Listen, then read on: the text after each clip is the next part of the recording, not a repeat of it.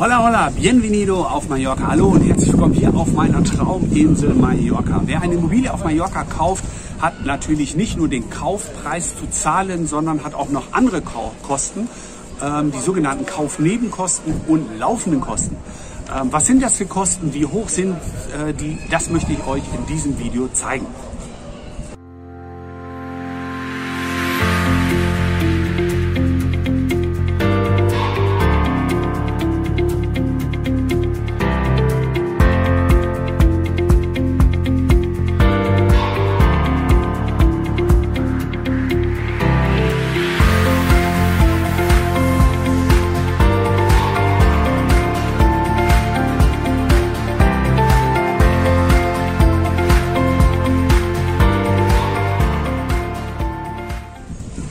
Grundsätzlich haben wir natürlich den Kaufpreis, den wir zu zahlen haben, den wir dann irgendwie verhandelt haben und dann zu zahlen haben. Und dazu kommen zusätzlich nochmal 10 und 13, je nachdem, was man erworben hat, zwischen 10 und 13 Prozent Kaufnebenkosten, sprich Notar, Steuerberater, Eintragung bei der Gemeinde etc.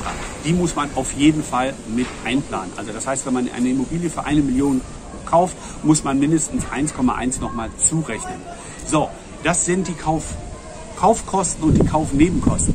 So, die sogenannten laufenden Kosten, das sind natürlich die Grundsteuer, die man jedes Jahr im September zu bezahlen hat. Die sogenannte IBI, die ist ein Prozent vom Katasterwert des Grundstückes oder vielmehr des Gebäudes. Also nicht das, was man bezahlt hat, der Wert der Immobilie, sondern des Katasterwertes. Und da kann es natürlich auch zur Abweichung kommen. Das heißt, man zahlt ein Prozent ähm, dann nicht von, ich sage jetzt mal 500.000 hat man für ein Apartment bezahlt, aber der Katasterwert ist dann vielleicht 800.000 und das muss man immer ganz klar bedenken. Nur, dass man sich nicht wundert.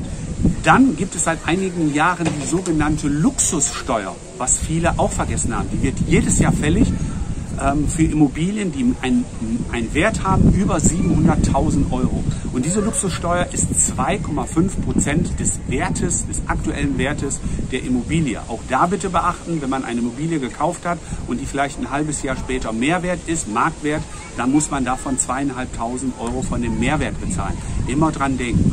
Ganz, ganz wichtig.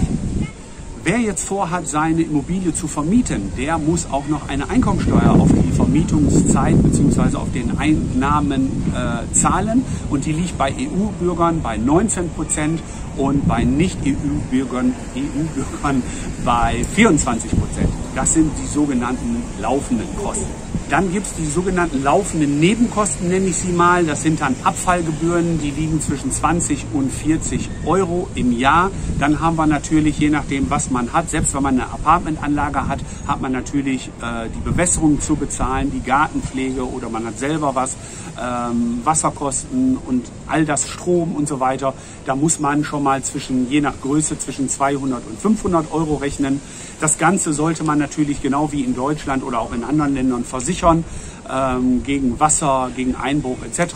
Diese Kosten liegen zwischen 20 und 40 Euro. Also man sieht, wir haben nicht nur im ersten Blick den ersten Kaufpreis, sondern wir haben die Nebenkosten, wir haben ähm, laufende Kosten, die laufenden Nebenkosten. Das ist alles zu beachten. Und auch das sollte man ein guter Makler, ein guter Verkäufer dem Erwerber natürlich immer im Vorfeld sagen.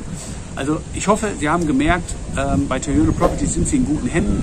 Wer noch weitere Fragen dazu hat, schreibt es gerne in den Kommentaren, kontaktiert uns, besucht uns hier auf der Insel. Wir sind hier ähm, Mitte November, haben immer noch 25 Grad und ja, die Insel ist einfach traumhaft schön. Ich freue mich, Sie euch hier persönlich begrüßen zu dürfen. Ganz liebe Grüße, ihr, euer Jürgen Terjöne. Adios, hasta luego.